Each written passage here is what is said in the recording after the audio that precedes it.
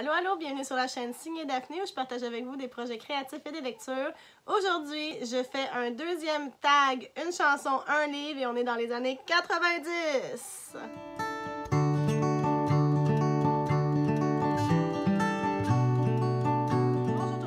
Que vous allez bien aujourd'hui. Merci d'être là. Alors, euh, comme je l'ai dit en introduction, aujourd'hui, je fais mon deuxième tag, une chanson, un livre. J'en ai fait un il y a quelques semaines. J'avais associé des chansons québécoises des années 80 à des livres. Et puis là, ben, je suis rendue dans la décennie suivante, les années 1990. Encore une fois, des chansons québécoises, mais je peux déjà vous assurer qu'il va y avoir un penchant chanson anglophone ou chanson internationale qui va s'en venir avec ce tag-là parce que j'ai vraiment, vraiment, vraiment trop de plaisir. Et surtout, j'aime me changer. Alors, vous voyez, aujourd'hui, j'ai mis mon plus beau look euh, des années 90. Faut que vous compreniez que moi, je suis rentrée au secondaire en 1995. Donc, mon secondaire, c'était en 95 à 2000. J'étais pile dans les années 90. C'était la fin de mon enfance, le début de mon adolescence jusqu'au début de mon âge adulte. Alors, c'est comme la décennie qui m'a le plus marquée. Et puis là, j'ai ressorti ma plus belle euh, séparation en zigzag, comme vous pouvez voir. Euh, mes petites mèches qui sortent comme ça de mes cheveux. Euh, les nombreux bobépines qui font le tour. Parce que pourquoi cacher les bobépines? Et plus de bobépines on a, le mieux c'est. Hein? Donc en zigzag, carré. en tout cas, c'était tout... C'était comme tellement à mode d'être comme ça quand j'avais genre 16-17 euh, ans, j'avais même pas idée. Donc euh, j'ai beaucoup pris plaisir à recréer ce look aujourd'hui. Et euh, avant que je commence, je veux juste vous dire que toutes les informations sur les livres dont je vais parler vont se retrouver dans la barre d'infos juste en bas, ainsi que toutes les informations pour venir me rejoindre sur les réseaux sociaux. Et j'en profite pour vous demander de vous abonner si ce n'est pas déjà fait. Donc le tag une chanson, un livre a été créé à la base par Les mots de l'imaginaire. Moi, je l'ai vu sur la chaîne de quatrième de couverture et ensuite sur la chaîne Encore une page quand j'ai décidé de le faire. Et je trouve que c'est vraiment, vraiment une idée géniale. J'ai essayé encore une fois de trouver une chanson par année de 1990 à 1999, mais je suis pas vraiment arrivée parce que j'ai cherché quand même des chansons qui m'ont marqué. Alors, il y en a plusieurs qui sont pour la même année, mais c'est pas grave. Et puis, euh, je vais tout mettre les liens vers les vidéos YouTube de ces chansons-là dans la barre d'infos en bas aussi. Je jongle avec l'idée de me créer un compte Spotify pour créer une playlist. Laissez-moi savoir dans les commentaires si je devrais ou non. Euh, parce que j'ai pas de compte Spotify. Alors, il faudrait vraiment que je le crée. Mais bon, si ça vous tente, dites-le moi, puis je vais le faire. La première chanson, c'est Sauver mon âme de Luc de la Rochelière. Alors, Sauver mon âme, sauver mon âme. C'est un auteur-compositeur-interprète que j'aime beaucoup, Luc de la Rochelière. Je l'ai découvert avec euh, cette chanson-là quand j'étais pas très vieille. C'était en 1990, alors euh, j'avais même pas 10 ans.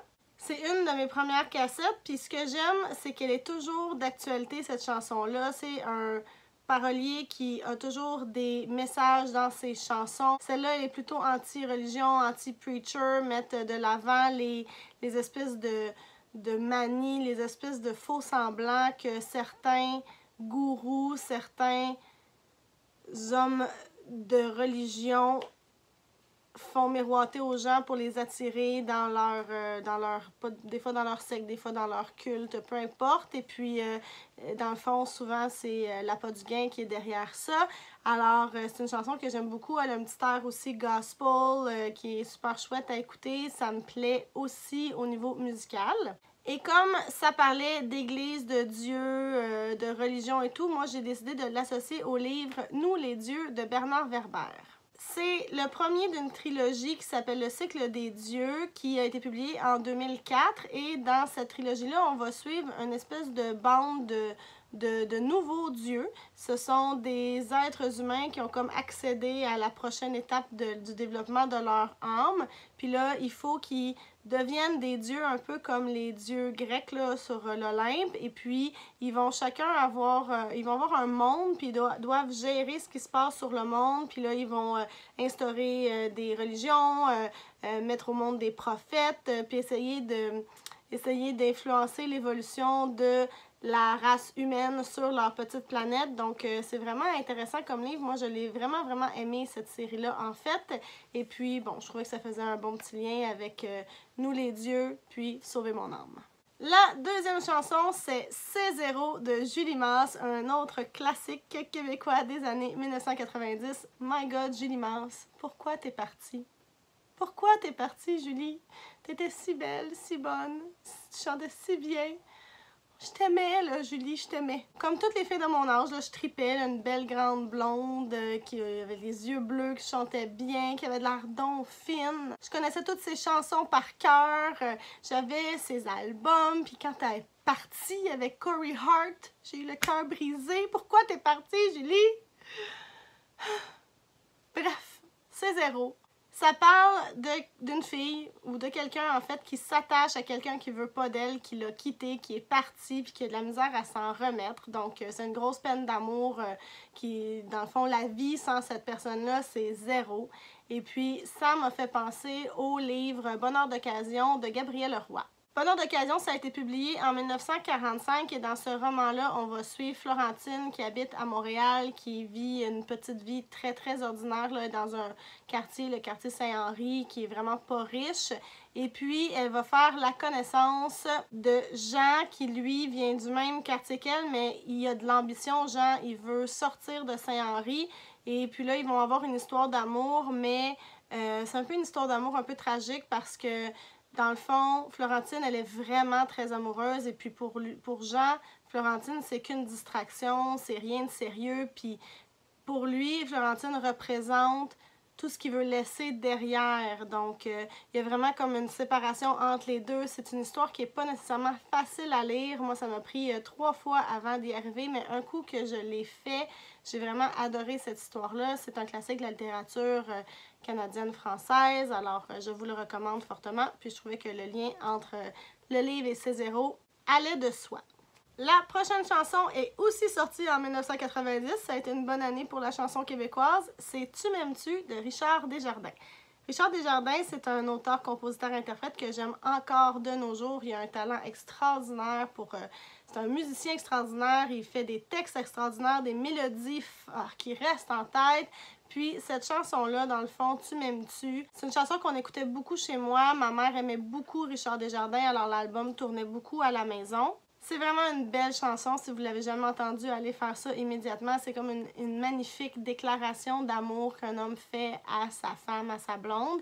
Puis, moi, ça me dit le vrai, le grand amour, celui qui peut résoudre tous les problèmes et même passer à travers le temps, ça me dit le chardon et le tartan. Outlander en anglais de Diana Gabaldon. C'est un livre qui en plus paru dans les années 90, en 1991 à la base. Oui, ça fait vraiment longtemps déjà. Oui, oui. Et dans ce livre-là, on va suivre Claire, qui est une femme qui vit dans les années 1940, tout de suite après la Deuxième Guerre mondiale. Elle va en Écosse avec son mari. Ils se sont retrouvés dans le fond après la guerre. Pendant la guerre, elle, était infirmière au front et lui était, était mobilisé comme soldat. Ils se retrouvent après la guerre. Ils s'en vont faire une petite euh, deuxième lune de miel en Écosse. Et là-bas, elle va aller dans un cercle de pierre et va marcher à travers une pierre et se retrouver en 1740 quelque chose alors que la révolte des euh, jacobites euh, est en train de, de gronder et tout. Et là, elle va faire la connaissance de Jamie Fraser. Jamie, Jamie, Jamie. Là, si vous ne connaissez pas Outlander, je vous conseille fortement les vidéos de Maps qui fait des petits euh, recaps livre versus série télé. Et puis, vous allez pouvoir voir des images de Jamie. Allez voir Jamie. Mhm. C'est une histoire d'amour, Jamie et Claire, qui est vraiment... My God, on veut tout en vivre une comme ça, je pense. C'est juste quelque chose qu'on peut voir dans les livres ou dans les films. L'amour, le vrai, le grand, qui passe à travers toutes les épreuves c'est le leur. Donc, Outlander, Le Chardon et le Tartan, Tu m'aimes-tu? La prochaine chanson, c'est 1990 de Jean Leloup, qui, ironiquement, est sortie en 1991. Euh, moi, cette chanson-là, je l'ai entendue la première fois chez mon cousin Hugo. Puis je me rappelle, j'étais vraiment choquée des paroles, parce que j'étais pas vieille. Puis ça dit « Heureusement que ma copine a soudain l'idée de génie de me toucher le porte-avions. Vite fait, je lui sors mon canon. » Moi, je me disais oh, « C'est du sexe. My God. » Bref, c'est quand même un classique des chansons québécoises des années 90. Et je trouve que c'est vraiment une chanson qui représente bien la décennie. Puis là, je cherchais un livre qui se passait vraiment dans les années 90 puis qui démontrait c'était quoi vivre à cette époque-là, pendant cette décennie-là. Et celui auquel j'ai pensé, c'est One Day de David Nichols. Le principe de One Day, c'est qu'on suit deux personnages, Emma et Dexter, qui habitent en Angleterre et on les retrouve toujours à la même journée de juillet à travers les années. Donc, on les rencontre la première fois en 1988. Après ça, on va les voir toutes les années subséquentes, le 89, 90, etc., jusqu'à la fin des années 90 on voit comment ils évoluent en tant que personnes parce que quand on les rencontre au début, ils viennent tout juste, tout juste de graduer, donc ils commencent leur vie d'adulte. Puis aussi comment leur relation va évoluer au fil des ans. Puis là-dedans, on peut vraiment voir là, au fil des années toutes les modes qui arrivent. Alors euh, au niveau de la musique, au niveau des vêtements, au niveau des émissions de télé, au niveau euh, de la consommation de drogue, etc. Donc euh, c'est vraiment très représentatif, je trouve, des années 90. Et en plus, c'est excellent. Franchement, là, ça, c'est un livre qui m'a fait pleurer, mais vous n'avez même pas idée. C'est venu me chercher tellement, tellement, tellement d'émotions. Alors, si vous n'avez pas lu One Day, un jour, de David Nichols, je vous le conseille fortement. Vous allez voir, ça vaut la peine. La prochaine chanson, c'est une chanson un peu comique. C'est euh, Mon prof de gym, T'es au Bad Bad Boy de François Pérus. Vous devez sûrement la connaître. Mon prof de gym, je le trouve slim. Il est festif comme dans les films. Avec ses petites shorts serrées, on voit tout son euh, set de clés. Puis euh, T'es au Bad Bad Boy, cogne circuit, cogne circuit. Bref, c'est la chanson qui m'a fait découvrir François Pérus et qui m'a fait tomber complètement amoureuse de ce qu'il fait et c'est un amour qui ne s'est jamais démenti, même si je suis toujours plus fan de ses vieilles affaires que de ce qui sort maintenant. Mais je trouve que franchement, c'est un humoriste excellent. Je l'adore. Je connais ses albums du peuple par cœur, surtout le tome 2 sur lequel est cette chanson-là, Mon prof de gym, t'es au Bad Bad Boy. Bref, c'est le meilleur. Puis, je cherchais pour aller avec ça un livre qui était un peu humoristique, qui parlait de l'école, parce que je voulais faire un lien avec mon prof de gym. Puis, j'ai retrouver chez moi le journal d'un remplaçant de Martin Wittberg. C'est un petit roman graphique, une petite BD qui se lit super bien. Puis là-dedans, on suit les aventures d'un homme qui va remplacer dans les écoles. Il va remplacer auprès d'enfants qui ont des difficultés. Fait qu'il va pas nécessairement remplacer au régulier, comme on dit ici, mais plutôt ce qu'on appellerait, nous, euh, l'adaptation scolaire. Eux, en France, euh, je me rappelle plus c'est quoi exactement le terme, mais bref, euh, c'est des enfants qui ont des défis. Puis au fil des pages, il y a des trucs vraiment, vraiment drôles, il y a des trucs touchants, il y a des trucs qui euh, nous font un peu grincer des dents, mais c'est vraiment euh, une chouette petite BD. Puis moi, en tant que prof, c'était venu me chercher quand je l'avais lu parce que j'étais exactement dans cette, dans cette période-là où je n'avais pas encore nécessairement de poche, je faisais beaucoup de remplacements. Donc, euh, j'ai fait le lien entre la chanson et le livre. Et je vous le recommande celui-là aussi énormément si vous avez la chance. La prochaine chanson, comme celle de François Pérusse, je ne l'avais pas dit, mais euh, bon, cette chanson-ci est parue en 1992. C'est L'Aigle Noir de Marie-Carmen, qui est en fait une reprise d'une chanson de la chanteuse française Barbara. L'Aigle Noir, là, c'était vraiment populaire. Ça passait à la radio, vous n'avez même pas idée à quel point, combien de fois dans une journée ça peut passer. Tout le monde la connaissait par cœur et je pense encore. Moi, je chantais toute seule dans ma chambre, je me pratiquais, je faisais comme du lip sync dessus pour un jour peut-être aller faire le concours de lip sync du club des 100 watts que j'ai jamais fait finalement. J'avais ma brosse, puis je chantais. L'aigle noir dans un bruissement d'ailes. C'est une chanson très intense, surtout quand on connaît sa supposée véritable signification. Il y aurait des gens qui disent que à la base c'est une chanson que Barbara a écrite en référence à l'inceste dont elle a été victime quand elle était plus jeune. Euh, Barbara l'a jamais confirmé, mais c'est ce qui se dit. Donc, quand on pense à la chanson puis qu'on imagine euh, tout le monde la chanter comme ça, on est un petit peu comme euh, c'est weird. Mais si on met ça de côté, ça reste une bonne chanson quand même, mais c'est surtout une chanson marquante parce qu'elle a été tellement, tellement populaire. Puis là, pour trouver un livre qui allait avec, je voulais pas aller dans l'inceste, alors je me suis dit le symbole de l'oiseau. Quel meilleur livre que The Hunger Games pour l'oiseau avec le G moqueur qui représente Katniss?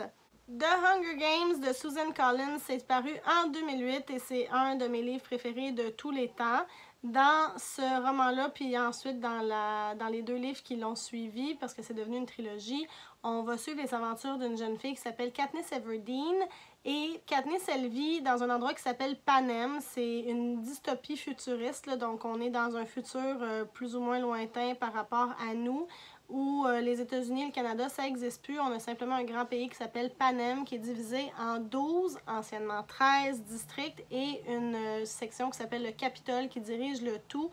Dans le passé de Panem, les districts ont essayé de se rebeller contre le Capitole, qui justement les dirigeait à cause des inégalités. Le Capitole a gagné cette guerre, a annihilé complètement le district 13 et a créé suite à ça les Hunger Games. Les Hunger Games, c'est un événement annuel où chaque district doit fournir deux tribus.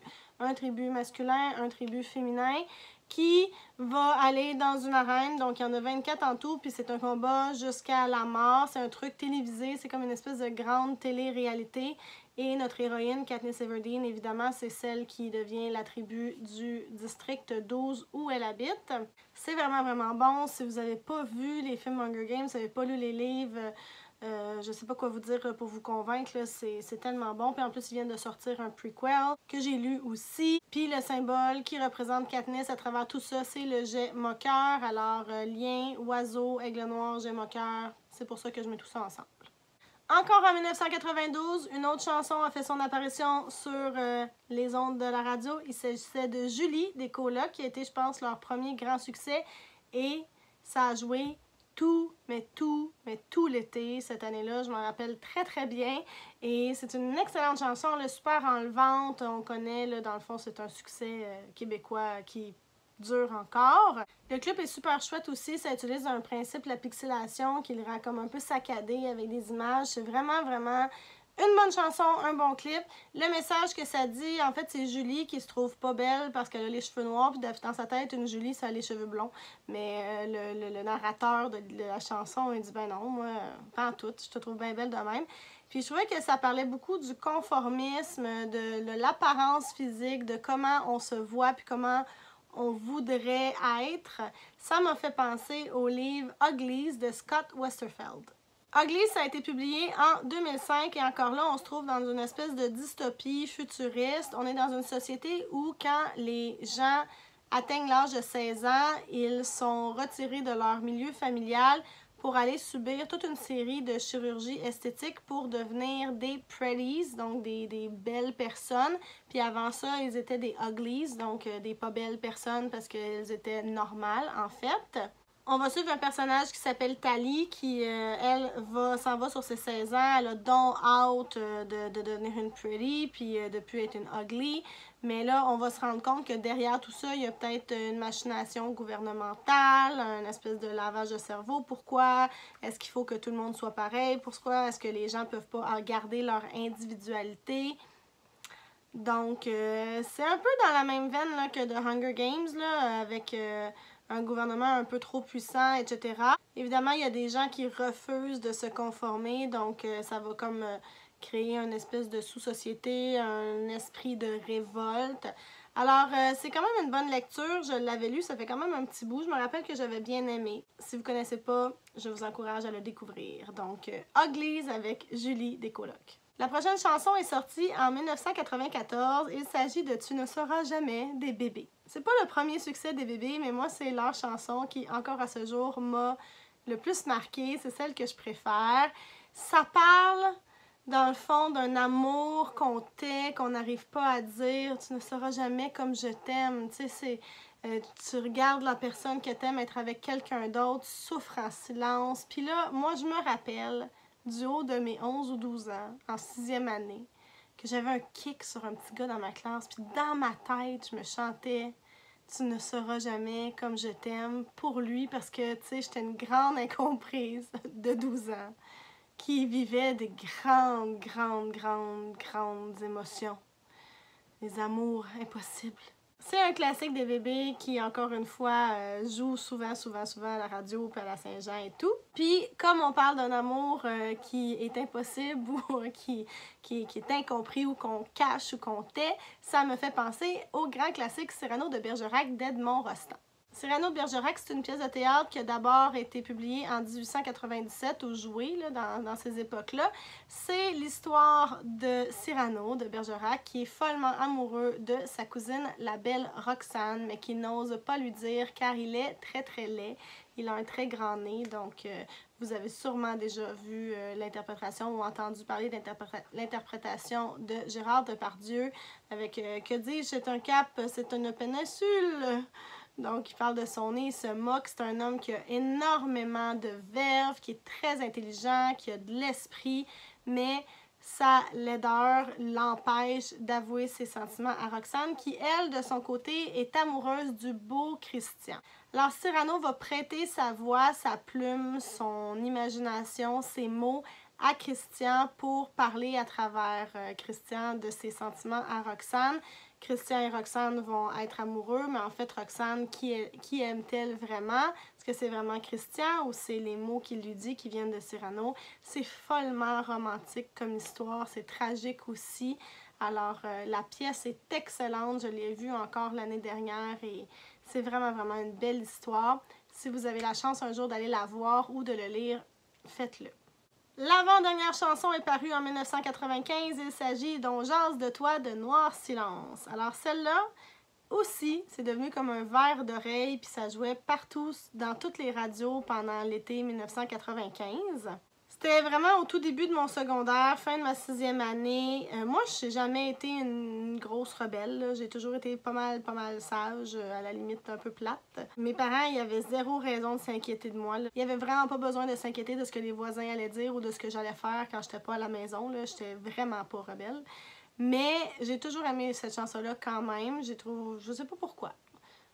Je la trouve chouette. Dans cette chanson-là, en fait, il y a un ado qui se découvre, qui commence à s'affirmer, à se détacher de ses parents, à assumer ses goûts, ses choix à lui.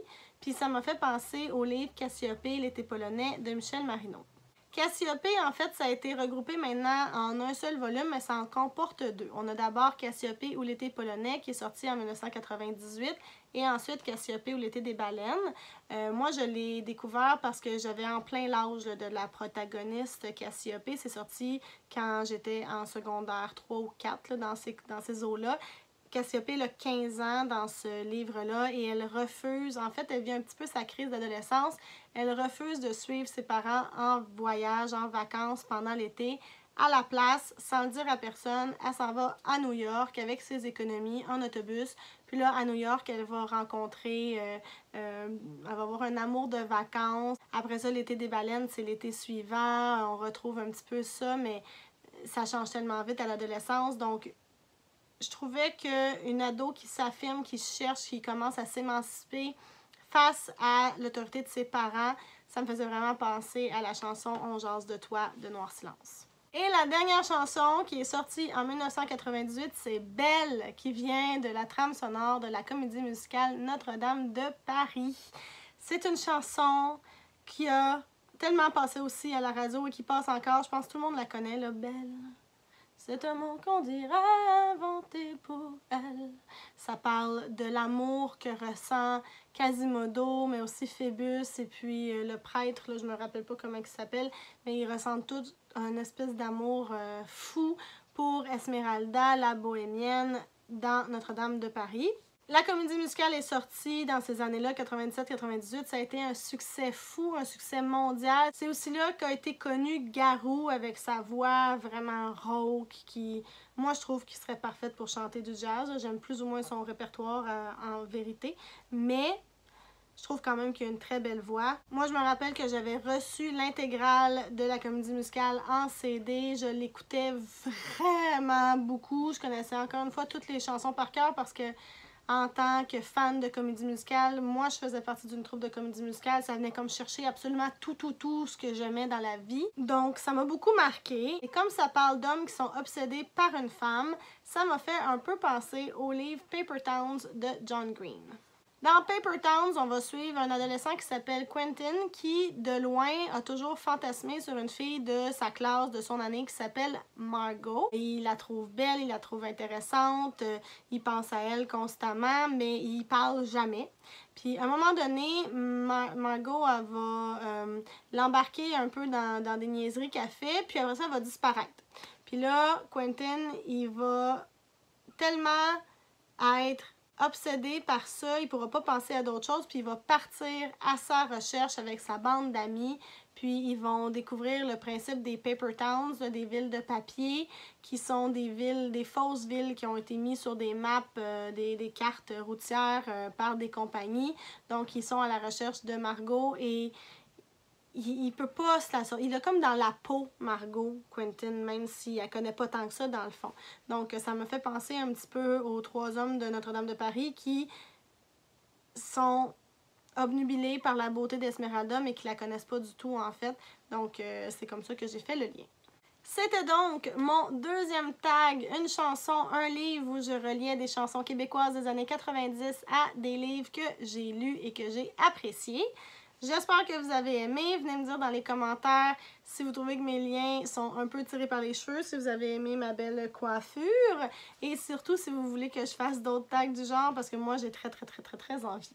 J'avais pas tagué personne à la fin de mon dernier tag, mais là, je vais le faire. Alors, je tag deux personnes, Maps et Jessica de Petite Bulle. Alors, allez-y les filles, c'est votre tour de faire un tag chanson livre. Et toutes les autres personnes qui regardent ces vidéos-là, si vous avez envie de le faire, je vous tag aussi. Encore une fois, toutes les informations sur les livres que j'ai mentionnés ainsi que les chansons se retrouvent dans la barre d'infos juste en bas, ainsi que toutes les informations pour venir me rejoindre sur les réseaux sociaux. N'hésitez pas à vous abonner si vous aimez le contenu que je vous propose. Je vous remercie encore une fois d'avoir été là et je vous dis à bientôt. Bye bye!